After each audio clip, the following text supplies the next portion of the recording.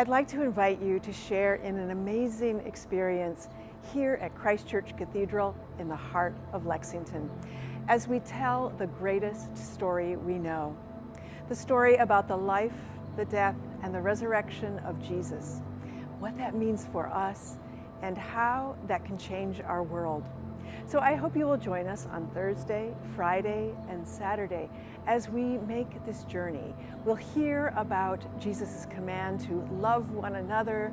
We will go to the cross, we will light candles, and we will share in the joy of the resurrection. So join us at Christ Church Cathedral, and you can find out everything about it on our website at Easter in Lex. Easter in Lex. So join us at Christ Church Cathedral for Holy.